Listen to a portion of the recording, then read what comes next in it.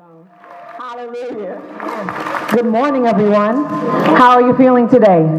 Are you happy to be in the house of the Lord? I am always overjoyed to be in the house of God. Right now, Holy Spirit, we just, we welcome you and we thank you for being with us. We thank you that you are the one that makes the church the body of Christ. If you don't breathe on us, then we are not living. If you don't breathe on us, we are not vibrant. If you are not breathing on us, we are not thriving. And we thank you, we honor you, and we bless you, and we welcome you right now. I thank you, God, for every person that have, has put on their clothes, that got in their car, that got a ride, that decided, I want to be at church this morning. I want to be among the believers this morning. I thank you, God, that they come with open hearts and open spirits to hear what you are saying, Father. I thank you, God, that this is not a place where there are deaf ears or ears just desiring to be tickled, but there are hearts of mature believers that desire to receive the word of God, whether it's correction, whether it's encouraging, whatever you are saying in this season, that's what we want to hear. And we open our hearts to you and we thank you because you never forget us. We thank you that you never overlook us. We thank you, God, that you always go before us and you prepare a way and, and, and a path for us. And on that path, there is provision. On that path, there is peace. On that path, there is joy. On that path, there is breakthrough. Through everything that we need because it's in you. So we thank you right now that you speak the word of life to us today. In the name of Jesus, we pray. Amen. Amen. I don't know about you, but my dependence is completely and totally on the Holy Spirit all the time. Why? Because I know how unqualified I am as a person. If you need a Bible, go ahead and raise your hand because we are going to go into the Bible. The baby wants a Bible. I know in, in all of us, in our own flesh, we are inadequate. Somebody say, in my flesh, in my flesh. I'm inadequate. Amen. So newsflash, don't feel bad about it. Amen. Stop saying, God, I'm inadequate. He knows how inadequate we are. That's why he sent Jesus. That's why he said, it is to your advantage that I go. And when I go, I will send the comforter. And who is the comforter? The comforter is the Holy Spirit. He's the one that reveals Jesus to us. He is the spirit of might. He is the spirit of strength. He is the one that comes to make us who God designed us to be. You can't do it on your own. Somebody say with me, I can't do it on my own. So stop being frustrated that you can't change yourself. You're not supposed to. Stop being frustrated that you can't make yourself holy. Stop being frustrated that you can't make yourself organized. Hello? Stop being frustrated because you cannot stop yourself from procrastinating. Stop being frustrated because every year you have your New Year's resolutions and you break them all before January 30th hits. Come on, hello? Y'all gonna help me this morning? But when we rely on the Holy Spirit and we stay in his face, he's the one that comes and he breaks the chains. He breaks the bad habits. He breaks the procrastination. He breaks the fear. He makes you the person that God always designed for you to be. Amen. He puts a spirit of boldness in you. Amen. He inspires you. He encourages you. He takes away the old doubt and puts in you the mind of Christ as you get in the Word. So that's why we rely on Him so much. Amen? Amen. So if you would go with me today, we're going to, I'm very much being, um, he's he's interesting. He will give me times of teaching and we will go deep, but then there are days that he releases me from the subject matter. So next month, in the month of August, we are going to be going into talking about discipleship and evangelism. Okay? But today, that's not where we're going to start. We're going to kind of have a parenthesis. Somebody say a parenthesis in our teaching schedule. Okay? Because we are sensitive to the leading of the Holy Spirit. There's a lot of changes and a lot of transitions that are that are happening. But chapter 37 of Ezekiel. Go with me to Ezekiel 37. So we're in a parenthesis today. We're in a parenthesis. And God was dealing with me about the season that we're in as a church and as individuals. Holy Spirit, help me this morning. Help me this morning, Holy Spirit. Ezekiel 37. 37. And somebody, somebody have a Bible on hand because I got two little people that unplugged my iPad last night and it didn't charge like it should have, and I got 9%. And that's what my Bible's on. So if I need, if this goes dead and I need a Bible, be ready. Okay? So um, Ezekiel 37 says this The hand of the Lord was upon me and carried me out in the spirit of the Lord and set me down in the midst of the valley, which was full of bones. Verse number two, and caused me to pass by them round about. And behold, there were very many in the open valley, and lo, they were very dry. Somebody say, very dry. You may have felt that you've been in a, in a season of dryness. Okay, I got a witness in here. You may feel that you've come through a season of dry bones. You may feel like you're in a desert. You may feel like there's been sand blowing in your face and you're saying, God, when is this thing going to change? When is this thing going to adjust? When am I going to see something happening? This is the reason why it is the passion of the Father for us to get to know the Holy Spirit. Somebody say, get to know the Holy Spirit. Everything about my ministry, I can talk to you about worship. I can talk to you about evangelism. I can talk talk to you about prosperity. I can talk to you about everything that's in the Word of God. But everything that I teach, some way, somehow, it's going to make its way back to the Holy Spirit. Why? Because He's the one that's active on the earth right now. See, Jesus is at the right hand of the Father making intercession for you so that your faith will not fail. He's up there praying for you. But the one that was sent to continue the work is the Holy Spirit. So you're saying, okay, Holy Spirit, I'm getting to know you. Holy Spirit, I'm coming into relationship with you. Holy Spirit, I'm coming into an intimacy with you. Now I know that you're a person. Now I know that you're with me all the time. Now I know that I'm really not alone. Even when I feel like I'm alone, I'm not alone because you said that we will not be left orphans. You said that once you left, we would not be left alone. So I thank you for the Holy Spirit. But sometimes your life feels like a valley of dry bones. Let's be honest. Can I get a witness in here this morning? Sometimes you feel like you are in a valley of dry bones, but there are things that can adjust and that can change what you're seeing in that valley of dry bones. Amen? And this is what happened to the prophet. So he gets taken by the Spirit of the Lord. The, the New Testament also says that the Spirit of God took Jesus into the desert. We have to stop being afraid of the dry places. Thank you, Holy Spirit. We need to stop being intimidated by the desert. We need to stop being intimidated by the process. And when we come into a place of dryness, we have to start getting excited. Instead of complaining, you have to start getting excited and say, hold on a second. I was just in a green place. God has brought me into a desert place. I think there's a change coming. I think that there's a transition coming. I think there's a promotion coming. I think that there's favor coming. Because the only reason why God will take you into a place of dry bones is because he's getting ready to take you to another level. Aleluya. See, but we want the other level without the dry places. We want the next level without the process. We want to just say, I'm blessed and highly favored, and we want to be there, not understanding that it's the dry place that fulfills in us the, the, the, the structuring, the changing, the molding, the breaking. The, the, that potter really, really gets busy in the dry place in our lives. So the Spirit of the Lord took the prophet Ezekiel to this valley of dry bones. It was full of dry bones. And it said that they were very, very dry. They were very, they weren't just dry. Okay? They were very dry. Verse 3 And he said unto me, and he said unto me, Son of man, can these bones live? See, God will take you into a place of a valley and he'll ask you, daughter, that dream and that vision that you thought was dead and you thought was dry, can it live? See, he, God doesn't ask a question if he doesn't know the answer. Amen. But he wants to know, do you know? Exactly. He wants to know, do you know what I'm thinking? Do you know what my answer is? And he says, son, can these bones live? Mm. Son, daughter, can your life go to the next level? Can your finances live? Can your relationships live?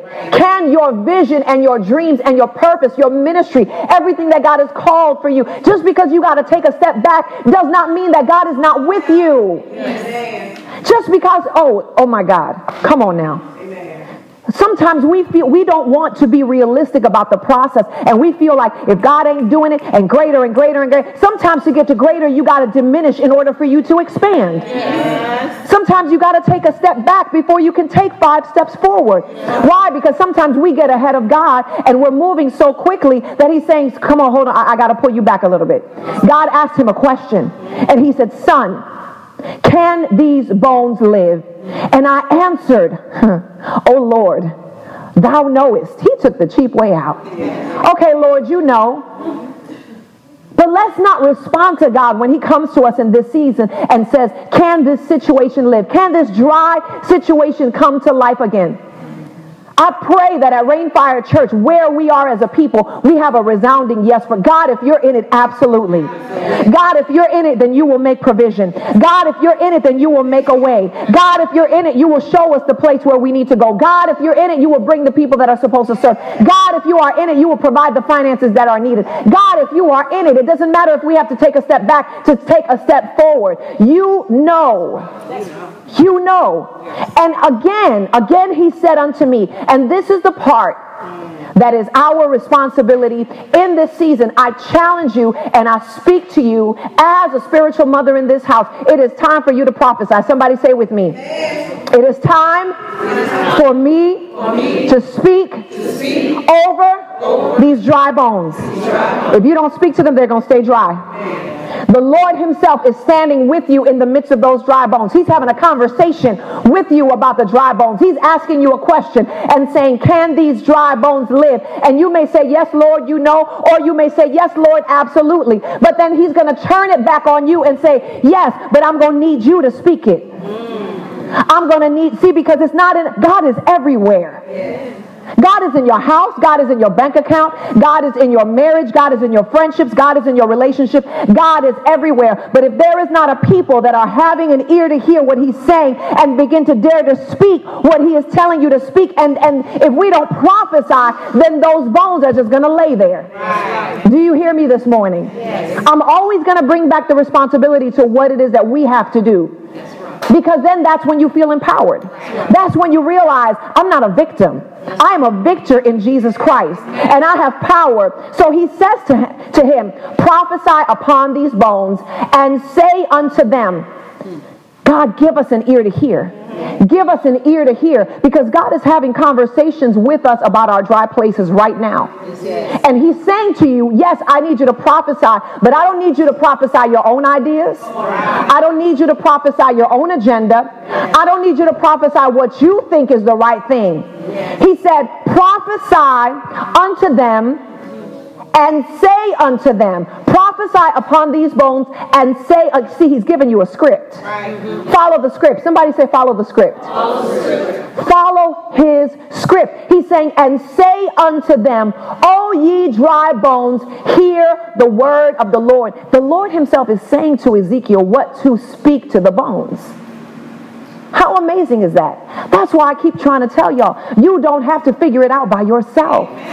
You don't have to try to, well, we're so, we're such control freaks and we want to know A and B and C and D and E and F and G and I want to have a 10 year goal and a five year plan and a two week plan and a 20 minute plan and everything has to go according to my plan because if not, we going to have a problem. You don't even control how long you will be breathing.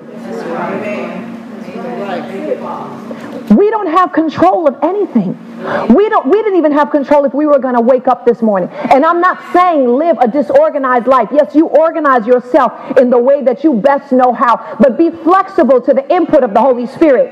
Be flexible to the voice of God that says, "Okay, I know that you want to go this way, but if he's closing every door and you're not in sin." That's right. If you're not in sin, like what did we talk about on Tuesday? We said what is what hinders sin? Un, I mean, what hinders prayer? Unconfessed sin, unbelief, bitterness, strife. What was it? Praying outside of the will of God. If it's not any of those things and God is still closing the door, then that's when you have to say, okay, God, show me the way. He said the steps of a righteous man are ordered by the Lord. So if he's closing the doors, There's a, there's a reason. But it's not our job to figure it out. He's giving him a script and he's saying, Say to them, prophesy upon these bones, and say unto them, O ye dry bones, hear the word of the Lord. Thus saith the Lord God unto these bones, Behold, I will cause breath to enter into you, and ye shall live. There is something about when the Holy Spirit blows upon you. Remember, let's go back to the New Te- I mean to the Old Testament. He formed the body of man. The form was there. The clay was formed. That's right.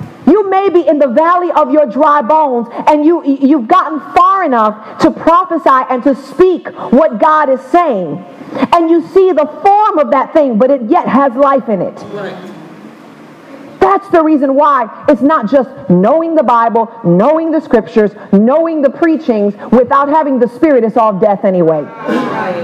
You have to have the breath of the Holy Spirit. And, is, and God is saying to, see, nothing has happened yet.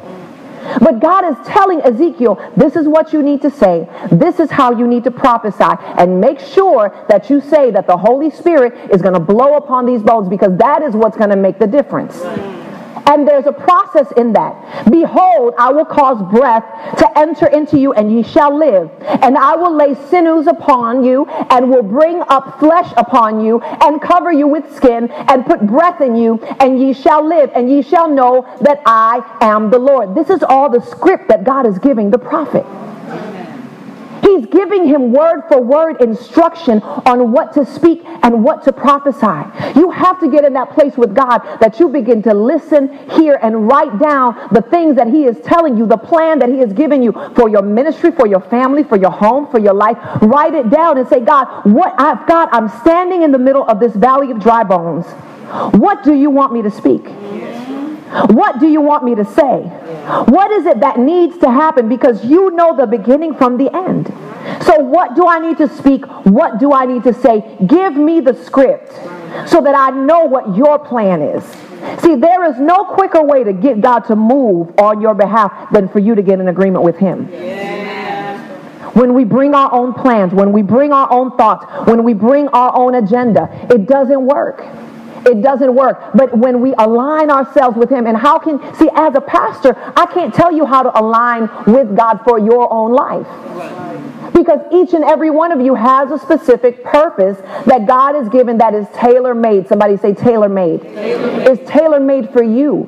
So the best that I can do is I can give you the steps on how to get to Him, on how to reach Him, how to get sin out of your life, how to get to know Him. I can give you the how to, but you got to do the what. You have to put in the work. You have to build the relationship. I can sit up and give you counseling as a married couple and say, okay, husband, you need to treat your wife with respect. And wife, you need to treat your husband with respect. And husband, you need to help out every once in a while. And wife, you need to be more respectful and understanding. I can give you the advice, but if they don't go home and put into practice anything that I've told them, is there going to be a change? No. No. So he's in the valley of dry bones. God gives him instruction right now. He is forming and giving me instruction on what to prophesy over Rainfire Church for where we're going and what it is that he wants to do. So he does all of that. And then on verse 7, it says, So I prophesied as I was commanded. I prophesied as I was commanded. God is bringing us to another place of faith and trust in him where we're able to hear and even see, because you got to realize he's hearing the voice of God, but he's looking at dry bones. He's looking at a very, very open valley that is full of dry bones. There is no life there. There is nothing there. There is nothing that is living in that place. And what he's hearing is the complete opposite of what he's seeing. Don't be afraid when you're seeing something that is completely opposite to what God is speaking to you. Do not be intimidated when what you're seeing is completely opposite to what you hear God saying. Either we're going to believe him or not. Amen. Either we're going to walk by faith or not. Amen. Either we're going to trust him and go all the way or not. Amen. Because if we're not, then then what? Okay, we just we're here, we die, and we go to heaven. Okay. I don't want to just be here and die and go to heaven. I want to do some things. I want to conquer some things. I want to establish some things in the kingdom of God. I want to change people's lives permanently. In the, so sometimes, many times, most of the time, I'm almost wanting to say all of the time when you choose to say, God, I'm going to get out the boat, what you're hearing and what you're seeing are going to be completely two different things. But he prophesied as he was commanded. I encourage you, prophesy as you are being commanded in this season. And as I prophesied, as I prophesied, there was a noise, and behold, a shaking. There was a noise. See, what we don't, we, we want to see, when we begin to prophesy and when we begin to speak, we want to see things happen right there at that very moment. We don't know how to look with the eyes of the Spirit and understand that when I begin to prophesy, when I begin to speak what the Lord has told me to speak over this valley of dry bones, even in the natural, if I don't see it with my eyes, I am not going to stop speaking and prophesying because in the spirit, things change first and then they change in the natural. Let me say that again. In the spirit, things change first, but then they change in the natural. So you see your son being rebellious. You see him going into the world. You see him cutting up and acting up. And you got to begin to prophesy over those dry bones and say, In the name of Jesus, you are a man of God. In the name of Jesus, you will remain pure. And, and it seems like he starts getting worse. Uh huh. It seems like he starts going off just a little bit more, right? Do you stop prophesying? No, you got to see him in the spirit the way you are prophet, the way God showed you. See, when my parents began to prophesy over me, I was cutting up. And I share these things with you because I don't want you ever to feel like, oh my God, Pastor Joann is so perfect and she has it all together and that's why God uses her. Absolutely not. I'm as just as broken as anybody. But I choose to stay way far hidden deep in God so that I don't fall apart. Because He's the one that holds me together. He's the one that makes me holy. He's the one that gives me the wisdom and the strength. So I stay in Him because without Him, I'm a mess. Without Him, we're all a mess. Amen. So when you prophesy, you may not immediately with your natural eyes see the change. But know that even as it says here in the scripture, as He prophesied, there was a noise and there was a shaking. When you prophesy, in the spirit, there begins to be a noise and there begins to be a shaking. Why is there a noise and there's a shaking? Because things are changing. Amen. Things are shifting. Things are happening. Even if you don't see it, it's happening. Here, he just had a visual of what it is that happens with us in the spirit so that we understand what it is that begins to happen when we prophesy according to what God has spoken. So I prophesied as I was commanded, and as I prophesied, there was a noise, and behold, a shaking, and the bones came together, bone to his bone. The bones came together, bone to his bone. So imagine the shaking, earthquake. Imagine the noise of the of the spirit beginning to move everything in that valley. And suddenly the bones begin to connect. Every bone, and it says not just every bone with a bone. It's not every bone with a bone. It's every bone with his bone. Every bone with his bone.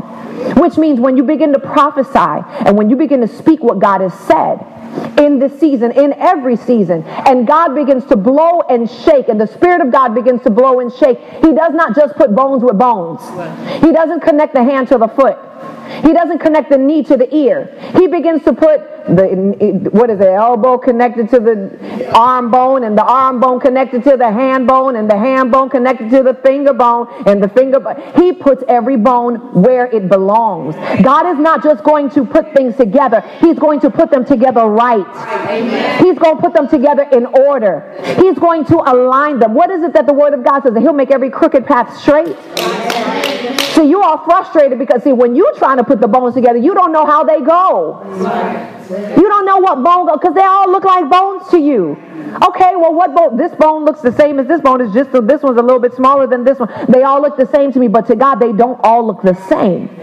God knows exactly where every bone is supposed to fit. He knows exactly where you're supposed to be, what you're supposed to be doing, how the vision that God has placed in you fits inside the kingdom. How you got to get moving on that vision that God placed in you because it's needed and it's necessary. It's not just about us just being, okay, okay, we're just Rainfire Church and we just going to be, if you're not being activated to do what you're called to do as an individual, then I'm failing as a mom.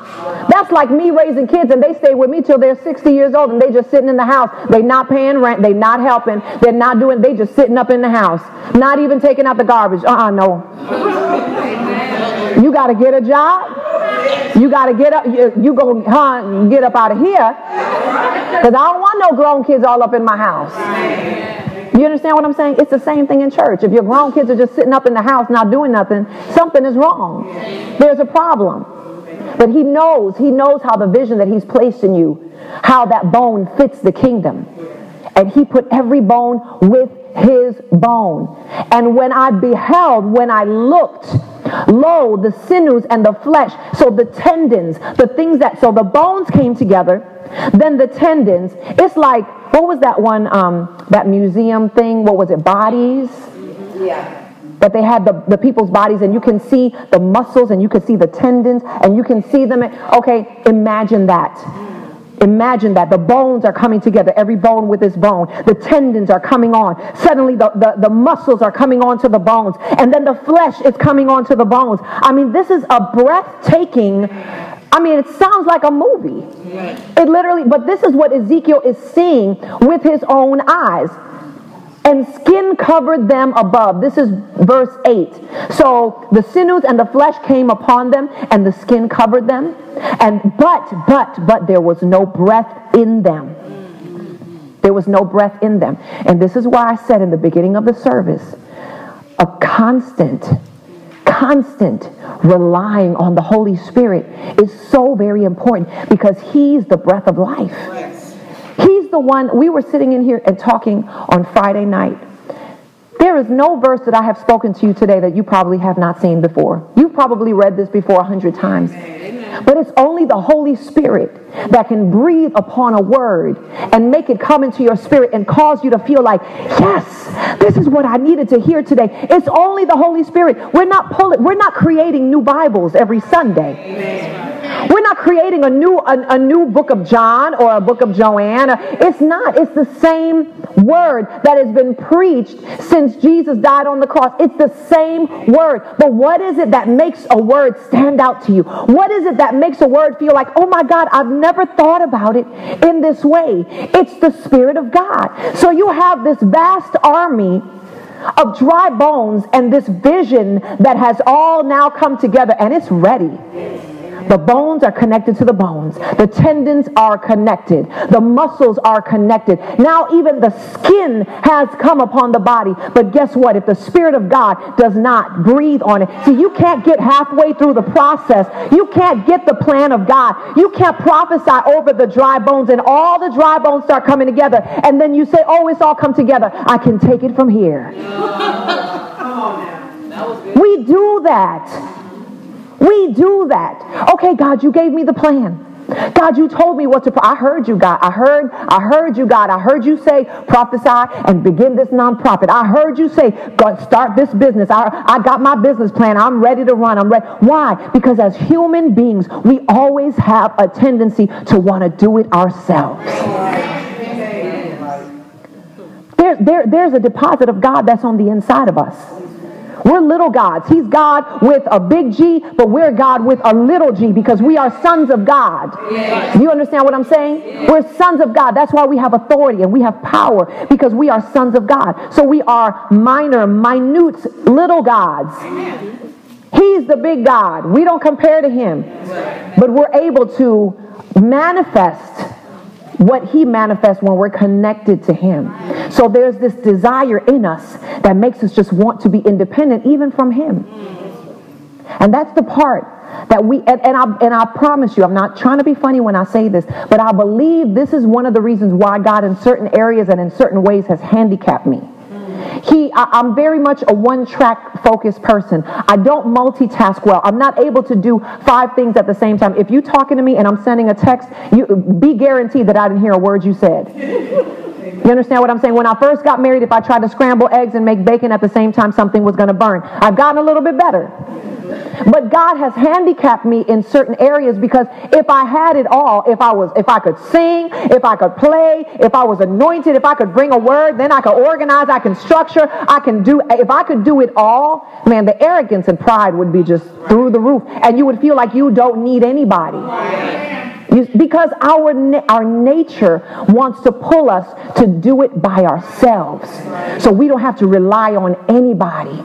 But you know what? The body of Christ, it doesn't function like that. But at the same time, the vision that God has given you does not function like that. The purpose and the destiny that God has given you doesn't function like that. He can give you the plan. He can give you what to prophesy. He can give you the script. He can give you the A, B, C, D of everything. But guess what? There's going to come the moment where everything has come together, but you're still going to have to wait for the Holy Spirit to blow on that thing that has come together in the valley of dry bones. Amen. There's no other way. If not, if you try to activate that army, if you try to activate that vision, it's going to look like a zombie. Yes. It's going to be spooky mm-hmm. and it's going to be looking crazy because there's no true life in it because the life comes from the Holy Spirit.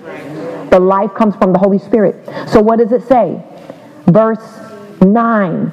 Then said he unto me, then said he unto me, Prophesy unto the wind Prophesy, Son of Man, and say to the wind, Thus saith the Lord, Come from the four winds, O breath, and breathe upon these slain, that they may live. Father, right now, in the name of Jesus, we call upon the wind of the Holy Spirit. We ask, Holy Spirit, that you would blow, that you would blow from the four corners, that you would blow from the north, the south, the east, and the west. We ask that you would blow upon our visions, that you would blow upon the plan that you have set in place that you would blow upon our lives, that you would blow upon our families, that you would blow upon our ministries, that you would blow upon everything that you have set our hands to do. God, we refuse to mold, uh, move this army in our own strength, to move this vision in our own strength, but we prophesy as you have commanded. And we ask, Holy Spirit, that you would blow out everything that needs to be blown out and that you would blow in everything that needs to be blown in.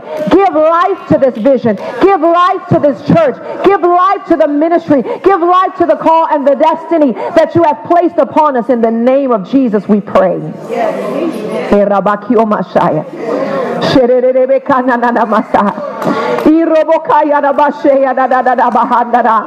Oh, thank you, Holy Spirit. Thank you, Holy Spirit. Thank you, Holy Spirit.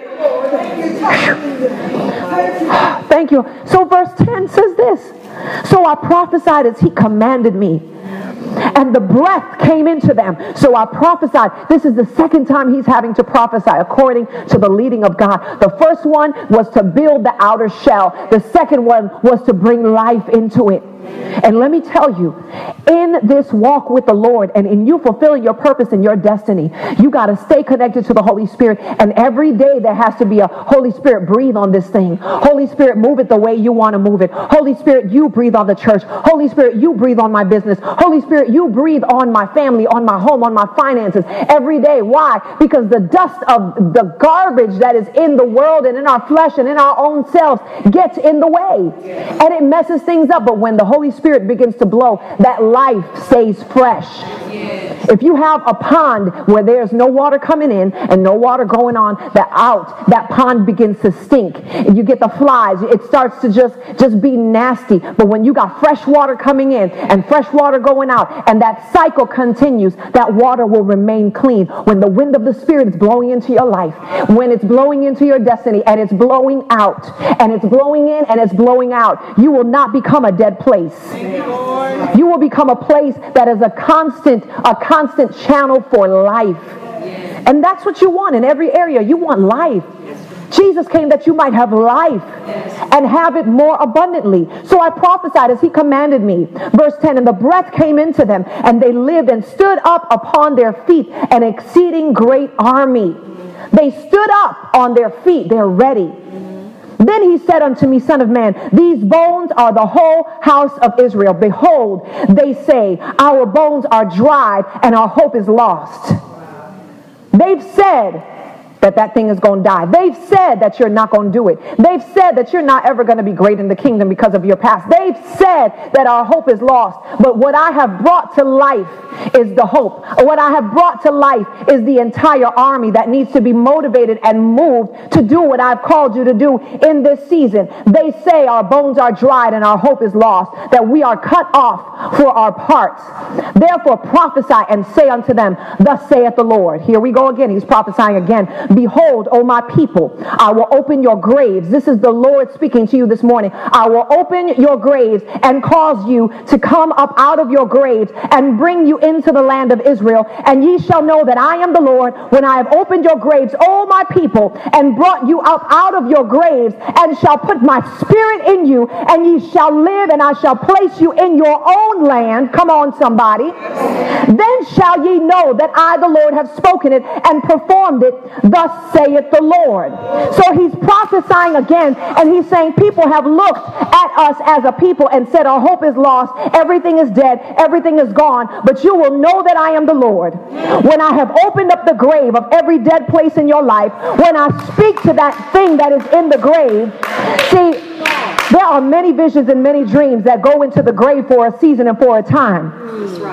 Don't be afraid.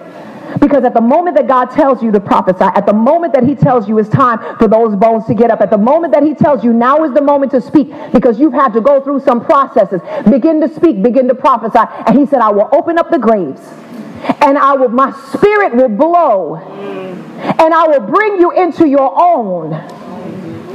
What? See, as African American people, as Hispanic people, as urban people, even some white people, you most of the time are living a life that is not your own. You're not coming into a place that is your own. You don't have a business that's your own. That don't you you don't have a ministry that's your own. You don't have a house that's your own. You don't have anything that's your own. But guess what? God can breathe upon you, breathe upon your life, breathe upon those dead bones and begin to prophesy over yourself. God, you're going to open up the grave. You're going to breathe the spirit upon me and I'm going to come into my own. Amen. Amen for your glory. Amen. I'm going to come into my own, and everybody that looks at my life, they're going to remember what I looked like when I was in the grave. They're going to remember what I looked like when I was standing among all those dry bones. They're going to remember what I looked like when I was dusty in my process because I was in the desert. It's okay. They're going to remember. But they will be able to look and say, they will be able to look and say, the Lord has opened up his grave. The Lord has breathed upon her. The Lord has brought them into their own, and they'll be able to look and see that it's the Lord's doing. Because for God to bring you into your own, we can't think small. Something may begin small, but it never stays small. A child begins what? As an egg and a sperm. But it doesn't stay there. It develops for nine months in the womb. 40 weeks. Then it comes out and it continues to develop and it continues to grow. That's why he said, don't be afraid of small beginnings. Don't despise small beginnings. Because God is breathing on you. God is showing you what to prophesy. God is showing you what to speak. Speak every time he tells you to speak. Amen. Prophesy every time he tells you to prophesy. Make the plan and write it according to what he says and then speak when he tells you to speak. As many times as he tells you to speak. Because he has a covenant with us. And he's saying if you love me the way i love you if you devote yourself to me the way i devote myself to you i will open up that grave. I will breathe on the dry bones that are in it. I will bring you into your own when everybody has looked at you and said you were hopeless and that you had nothing going for you. And they will be able to know that it was me Close your Bibles. Oh, Holy Spirit.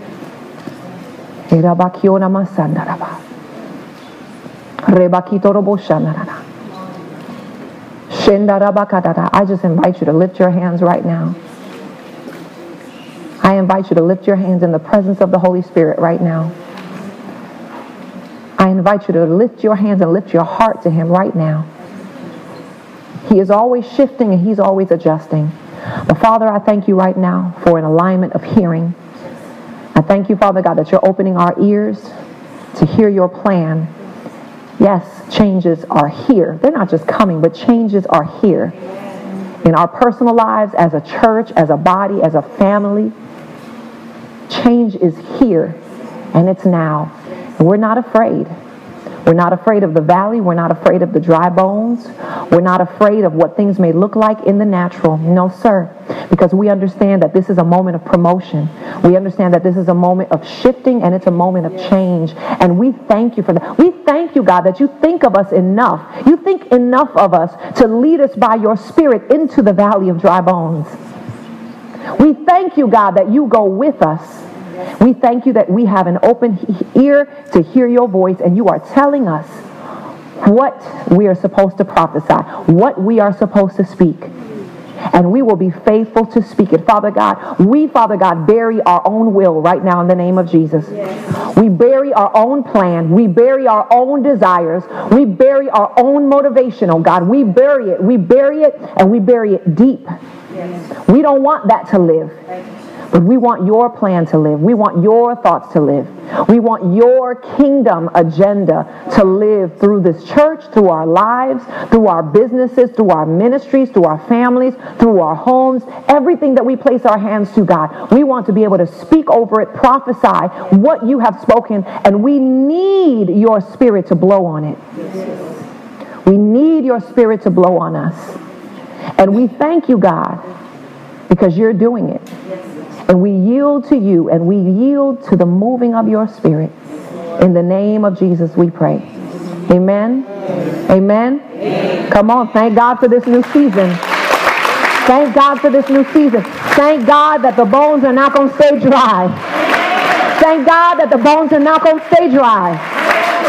Thank God that He is going to give you the prophetic word to speak and even as a pastor, I speak prophetically. And I thank you, Father, right now. I prophesy to that new location that you will be found in this week. I thank you, Father God, that you are going before us and you're opening the way. God, I thank you right now and I prophesy for provision in that transition. Father, I thank you, God, that you will lead us exactly where you need us to be, God. I thank you and I prophesy that you continue to bring those that are called to be a part of this church body. God, I thank you, God, that those that are called to be leadership in that in this body, that you continue to place it on their hearts and on their souls, God, that they would not be able to get away from it. I thank you, God, that you are depositing a spirit of prayer and fasting and passion and love for you in each and every one of us. I prophesy, Father God, that there is no lack in us, Father God, because there is no disobedience, there is no rebellion, and there is no sin. And we are givers, we are sowers, we are tithers, Father God. I prophesy and I speak life. God, that not one person in this house is going to be a bench warmer, but every person in their season and in their moment will be activated to walk out the call and the destiny of God, whatever it may be, feeding the homeless, outreach ministries, uh, going into the world and preaching the gospel, people that are called to be promoters, people that are called to be professional psalmists and worship leaders, people that are called to start their own churches in other locations and in other cities, people, Father God, that are called, Father God, to own businesses, Father God, consultation businesses, book businesses, publishing, music, whatever it is that you've called, I prophesy and I declare, Father God, that Rainfire Church will be an, incu- an incubator, an incubator of vision, of destiny, and of purpose.